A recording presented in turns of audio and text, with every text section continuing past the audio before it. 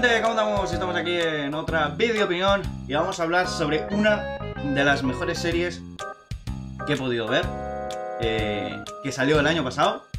Y, sí, voy a, ser, voy a ser honesto, voy a ser honesto, ¿vale? Voy a ser honesto. Eh, Disney Plus, que yo sepa, aquí en España todavía no está. Así que con eso lo digo todo, ¿vale? Con eso lo he dicho todo. Eh, pero bueno, fuera aparte de eso, fuera aparte de eso, ¿vale? Me he visto The Mandalorian. Eh, una serie que se ha estado hypeado por ahí todo el mundo, sobre todo por Baby Yoda, que ya hablaremos de Baby Yoda, que no es Yoda, ¿vale? No es ni Baby, ni es Yoda, ni nada, es supuestamente un- uno de la raza de Yoda, pero es otro, ¿vale? Pero ya hablaremos de ello. Entonces, ¿qué tal me ha parecido a mí The Mandalorian? Eh, creo, creo, y no, no, no es que crea, es que lo, voy a confirmar, es lo mejor que ha hecho Disney la franquicia de Star Wars. Quitando Rogue One. Porque el episodio 7 fue. eh, creo que ya lo dije. El high de tantos años de no ver Star Wars salió y, y era una copia de muchas otras. La 8 la puedes odiar más o la puedes, o la puedes odiar menos. Pero simplemente, al menos, aunque copiara cosas, tenía, mm, tenía mejor estructura para mí. Y la 9, un- una película fan, mal terminada, con un guion de mierda. Luego tenemos Han Solo, que prácticamente no debió de existir. Y Rogue One, que de todo fue lo que más se salvó. Prácticamente, lo que más se salvó, lo que más eh, crítica variado tenía, ahí es donde veo yo que es más se salvó. Pero, pero, tenemos de Mandalorian. Y de Mandalorian me parece una puñetera obra de arte por parte de Disney. ¿Por qué? Porque copia exactamente, exactamente un cómic. De tal manera que al final de cada episodio, los créditos te enseñan imágenes de sus cómics, de las escenas de los cómics. Y dices, está clavadita las escenas en muchos sentidos. Tengo aquí a nombres de estos, porque si no se me olvidan, ¿vale? Al menos de los, de los más importantes. eh, que para mí, pues, solo es uno.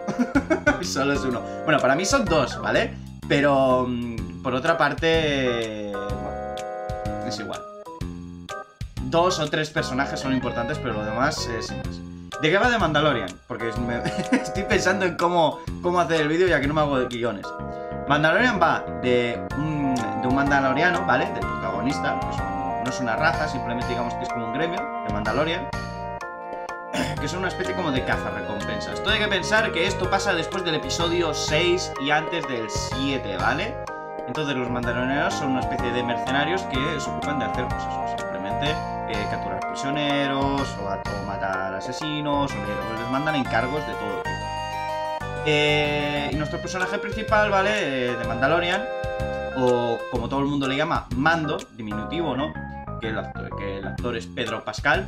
Eh, sí que he oído por ahí que en algunos episodios no es él siempre. Me da igual quién haga de, quién haga de Mando. Me da igual, o sea, como dice mi padre, cuando alguien lleva una máscara un casco, lo que sea, dentro puede ser quien tú quieras. Dentro puede ser quien tú quieras. O sea, te pueden poner al pedazo actor de, de Hollywood, que cuando se pone el casco puede ser un doble, puede ser un. puede ser otro actor que se le parezca, pero con el casco no lo sabes. Es un decir, ¿eh? A mí me da igual. Pero es un pedazo de personaje. O sea, han, han construido un pedazo de personaje, Amando. Es lo mejor de toda la serie de, Star Wars que he visto, madre mía. Es un personaje que de verdad te encariñas muy rápidamente con él.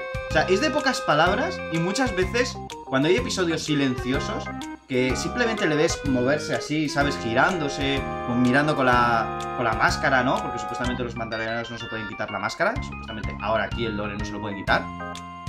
Y, y expresa mucho. O sea, ojo al dato que de verdad expresa bastante el eh, mando. O sea, y solo estás mirando la- lo que es el casco, que no tiene expresiones. Pero da igual, porque ya con eso, ya el hecho de, eh, no sé cómo decirte, de que alguien como que le insinúa algo o le, o le dice algo que no, le, que no le agrada, como que se medio gira así, ¿no? Y dices, ya parece que tiene más expresión con eso que la mayoría de los personajes que les ves la cara que prácticamente las expresiones dices, bueno, surrealistas, ¿no?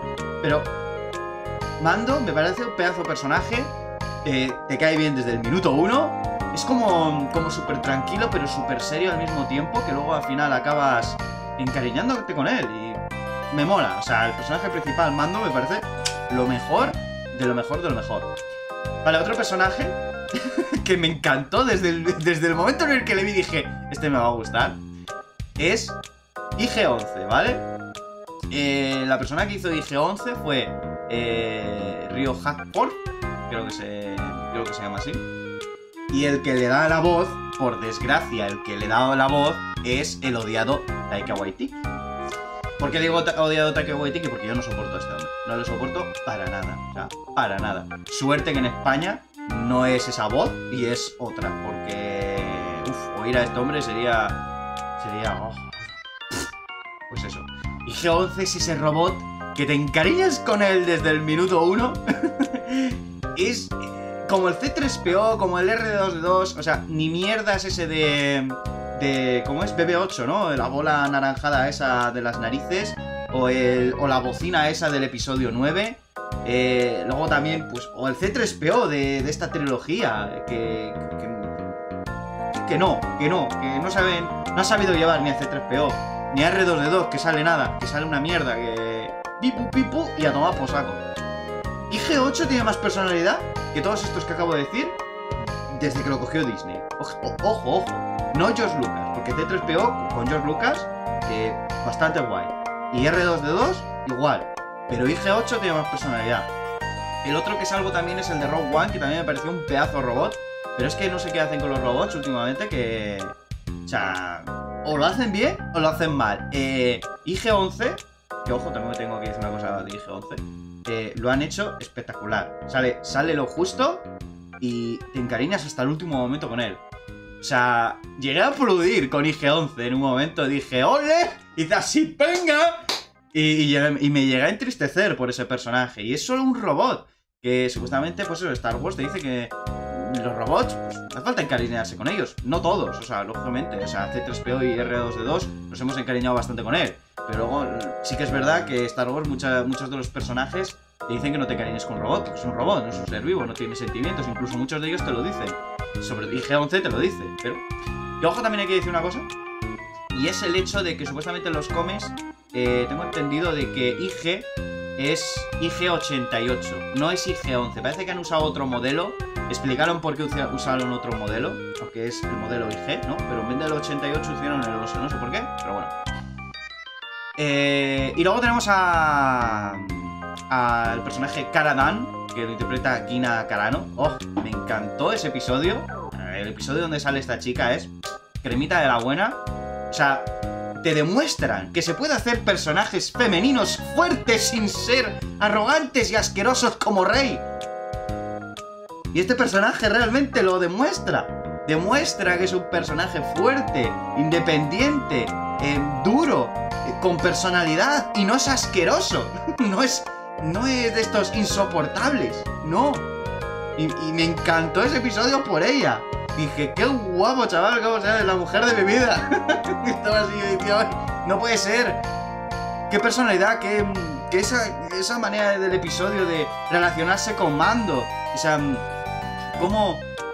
Es que hay, hay, tanto que decir sobre este personaje, pero como tampoco quiero hacer realmente spoilers de la de Dios, simplemente puedo decir que es un personaje que realmente, o sea, que representa a una mujer bastante fuerte y me encantó. Nada, eso de, ah, es que pues eso. Soy mujer y por ser mujer lo puedo hacer todo. Pues Mando hombre, Mando hombre también y no lo puede hacer todo. Y lo demuestra que muchas veces no puede hacerlo. Y Karadan también es una mujer y, cuando te demuestra que no puede hacer todo, no lo puede hacer. Y me parece genial. Porque se, complementan. O sea, lo que no puede hacer ella, a veces lo hace Mando. Y lo que no puede hacer Mando, lo ha hecho ella. Y si no, lo ha hecho IG, IG 11 o cosas por el estilo. Es un decir, ¿vale? Y me parece genial. Es un personaje que me parece 10 de 10 para representar. No como Rey. Me parece una asquerosidad de personaje, por Dios. Qué mal hecho está Rey. Y tenemos otro personaje, ¿vale? Que este lo, también lo tengo que decir, que me ha hecho muchísimas gracias. Sale muy poquito, pero... Pero es genial, es, es genial, ¿vale? Es Quill, ¿vale? Quill, el extraterrestre Quill. Que supuestamente quien diseñó el, el, arte artístico de Quill fue Misty Rosas. Y eh, quien creo que le da vida es Nick Colte. Al menos lo que pone aquí. Es un personaje que rápidamente sí, que como con, como con IG-11 y como Caravan, es un personaje que te cariñas rapidísimo. O sea, no sé lo que tienen que han hecho que los personajes que supuestamente sabes que van a ser importantes, te vas a encariñar con ellos, lo que es ya no lo siguiente. Y, y este personaje también, o sea, aparece de la nada y dices, bueno, personaje secundario, pero ya solo tengo ciertas conversaciones con Mando que dices, este no es el mítico personaje que viene y se va. O sea, este se nota que es un personaje que es para quedarse con este con el comando en esta temporada. Y y se queda y se queda hasta el final. O sea, tiene momentos en los que ¿cómo se dice? que cuando quiere decir algo, cuando le dice algo a Mando y dice y se lo dice y va a ser va a ser como lo dice él, y dices, "Joder, Mando, que este que dispara dispara al que le putee, dispara al quien le intente mandar." No, pues supuestamente eh, cuando lo dice, dice y hablé, o algo así, dice y hablé, y se marcha, y dices, coño, le está, le está, le está implantando su, su forma de ser, su, su eh, ah, no me sale, que está muy bien, vamos, su ideología total, y, y es genial, Quill es un personaje que, pues mola, para lo poco que hace, mola, te cuenta su historia, o sea, es que encima, no da que te cuente su historia, pero te cuenta su historia, junto con otro personaje también, igual que IG, que IG-11, o sea, llega un momento en el que esos personajes se tienen que juntar por algo y empiezan a contarte todo y dices, bueno, o sea, ya me empiezan a contar cosas, porque cuando aparece Mando tampoco es que te cuente casi nada, te cuentan lo justo, pero cuando se junta todo parece como que se cuenta todo y explota y dices, bueno, aquí va a pasar la gorda porque te están contando todo antes de este momento. Y luego tenemos otro personaje, ¿vale? Que es eh, Gref Carga, Carl eh, eh, Walter, Walter, sí, será Carl Walter, vamos. Este personaje le conoceréis seguramente por dos películas, por Predator, ¿vale? Y por ser Apolo en Rock. No me lo esperaba, yo, yo decía, este, este tío me suena de algo, este, este tío me suena de algo. Y dije, me suena de algo, me suena de algo, me suena de algo, me hago como los gatos. claro, es Apolo, Apolo de, Rocky y el que. Y el amigo este afroamericano que tiene Arnold Schwarzenegger en, Predator. Y dices, pues tiene que ser un buen actor para estar aquí. Eh, realmente lo es. Y tampoco es que. Este es el que menos tiene igual de todos. Sea, el que menos tiene en pantalla de todos, de toda la serie. Pero no sé, o sea, simplemente creo que hace una actuación genial. Como digamos que es el que reparte las misiones a cada mercenario. Tiene una personalidad y, hace una actuación genial para lo que tiene que hacer. Y me parece genial. O sea, es un personaje serio, eh, astuto.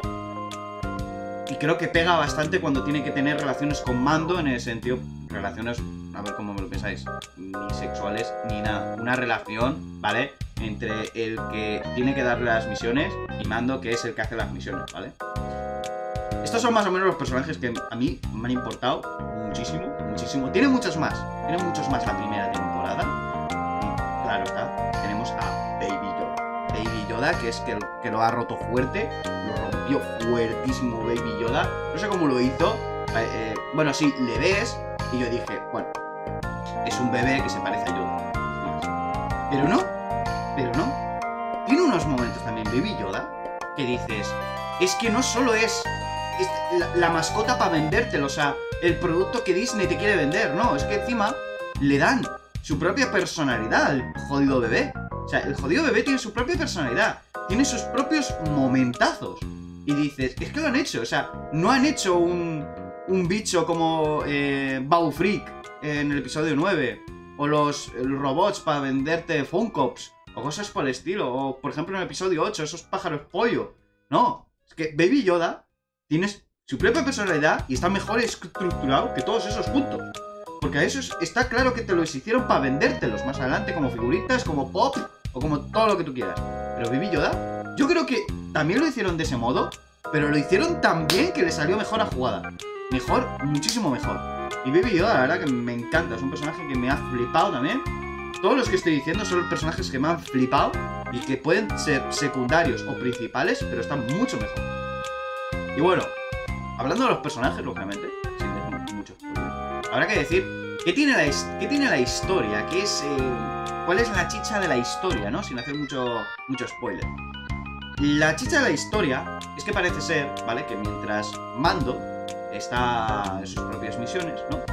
Eh, este, el amigo, este afroamericano, ¿vale? El que, que- el actor de Apolo que hace este personaje, le manda a hacer una misión, ¿vale? Pero es una misión muy importante, muy importante. Y ya cuando vemos a estos eh, clones o troppers, que no sé exactamente cuáles son, no, no veo, la, no veo la diferencia, verdad. Eh, dices, uy, aquí se va a liar la gorda, esto, estos son de Palpatine, estos son Sith, ¿no? Dices, estos son Sith, ¿vale? Pero lo más gracioso de todo es que nadie sabe quién- qué son los Jedi ya. O sea, se han olvidado los Jedi. Y, y diría, bueno, pues entonces están, ya no saben lo que son los Sith y todas esas historias. Se, habla- se hablan leyendas por todo, por toda la galaxia. De que había magos, que levantaban cosas, que eran místicos y que no sé qué. Dices, hostia, pues sí que están bastante avanzados. Esto tendría que ser justo antes del episodio 7 o por lo cerca, vamos, para, para unirlos si quieren, que no lo van a unir. Y espero que nunca lo, lo unan. Pero para, para no irnos de, de madre, digamos que le, eh, le mandan a una misión que es ir a por un producto, ¿vale? A por un producto en un planeta. Mando va, consigue, el ver el producto y ve que es un bebé, ¿vale? Y claro, es que le dicen, tiene 50 años. Y el tío cuando ve al bebé dice, 50 años esto. Claro, digamos que la raza de Yoda igual crece más, más despacio, ¿no? Y claro, cuando lo ve, pues dice, empieza a encariñarse con él, se lo lleva, lo da, pero no puede, no puede, intenta recuperarlo y digamos que la historia transcurre de eso, de cómo es conocer a Mando, conocer su pasado, por qué ha hecho lo que ha hecho en todos los episodios, eh, por qué cuida al bebé, por qué al- algunos personajes, digamos que mm, lo respeta, a otros no, cuál es el, odio que tiene hacia los androides, porque tiene un odio hacia los androides muy fuerte, conocemos a otros personajes que son malos y nos cuentan un poquito del pasado de Mando o cómo era Mando, ¿no? Y todo eso, todo eso se va, se va uniendo y hace una, una historia perfecta. Para mí hace una historia perfectísima. Y me encanta cómo lo han hecho. Me encanta. Desde el episodio número 1 hasta el episodio número 8. Yo pensé que había 6. Y me dice, no, es que hay 7. Y cuando empiezo a mirar digo, no, es que hay 8. Y dije, coño, hay que ver estos 8 episodios. Y me los tragué uno detrás, detrás de otro. Eh, el primer día me, comí tres episodios de golpe, luego me comí dos y fui, fui de uno en uno lo ya. Por el hecho de no tragármelos de golpe, de disfrutarlos poco a poco. Hay gente que se los traga de golpe y los disfruta también. Oye, me parece genial, yo lo prefería un poquito a poquito. Y es una serie que gente yo la recomiendo ver. Es perfecta, es lo mejor de Star Wars, ¿vale? Lo mejor de Star Wars, lo digo muy en serio. De Mandalorian. Espero con muchísimas eh, ganas eh, la segunda temporada, que creo que sale este año, no sé, no sé cuándo, pero sale este año. Y, y lo va a petar fuerte. Va a petar fuerte la segunda temporada. Lo petó fuerte. Y acabó genial. O sea, acabó con todos los personajes súper aprovechados. Todos los que te iban enseñando estaban realmente aprovechados hasta el último momento. eh, con guiños hacia, hacia otras películas, como por ejemplo una, una escena que están los, eh, los Stormtroopers o los clones, no sé exactamente ahora qué son. eh, ¿no? Que intentan, intentan disparar a una flor que hay en el suelo y uno empieza a dispararla y que no le da. ¡Pium, pium! Y ese y que no le da. Y luego el otro coge la pistola y ¡pium, pium! Y que no le da. Y que mira en la pistola como que está rota, ¿no? Y dices, "Y es que te sale, te sale hasta el guiño ese de que tienen una mala puntería que te cagas. ese guiño, o sea, ese meme ese por internet decía que tenían la puntería en el culo. Aquí es como una broma, es como un meme hecho en serie. Y es genial. Y tiene esos momentos que son brutales. Brutales. Y ya digo, el último momento cuando realmente sabes quién va a ser el malo maloso de las siguientes temporadas, porque aquí no hay malo maloso, por decir, o sea, no hay un villano tal cual. Digamos que hay un villano, pero no se presenta. Se presenta hasta el final y ya es cuando, y ya es cuando dices, coñi, si ahora, si antes, antes ya molaba el argumento, hostia, ahora con este, con este tío, es que encima te lo presentan de una manera que dices, ¿what? ¿Qué hace? ¿Qué- ¿Por qué? ¿Y eso que tiene en las manos? ¿Cosas por el estilo? La segunda temporada tiene que ser brutal. No creo que veamos a muchos de los personajes que hemos visto aquí, por desgracia. Me va a dar muchísima pena. Igual algunos sí, pero no creo que todos. Eh, si intentan aprovechar nuevos personajes, porque Star Wars está lleno de personajes y se puede aprovechar muchísimo, muchísimo, creo que muchísimo. No lo sé, igual veremos algunos que hayan podido salir en películas anteriores o películas de la película de ahora. Puede ser. A mí me encantaría. Depende cuáles. Si son del 7 al 9, no, no quiero ver a ninguno de ellos. A ninguno. Ninguno de los de, la nueva trilogía quiero verlos. Y ponme desde la 1 hasta la 6 si quieres. Pero del 7 al 8 no. Puedes meterme hasta alguno, alguna relación con los de Rogue One, pero ya está. No me metas más. O yo que sé, que algún personaje de esta primera temporada vuelva. Y me encantaría igualmente. O sea, que Mando tenga que volver a donde sus viejos amigos. Pues viejos amigos, en plan. Tienen por qué ser amigos. Para volver a hacer algo importante, como al final del episodio. Que en los dos últimos episodios es cuando se mete la chicha, ¿no? Digamos que te están preparando todo, te están dejando cositas al vuelo, ¿no? Como que mando tal, el, el pasado del mando, porque odia esto, esto. Y luego ya el último episodio, los dos últimos episodios es cuando te empiezan a dejar todo, ya todas las piezas se empiezan a unir. Y eso, la verdad es que es para aplaudir. Ya ves, yo estaba en casa viendo la serie aquí, tranquilamente, viéndola así.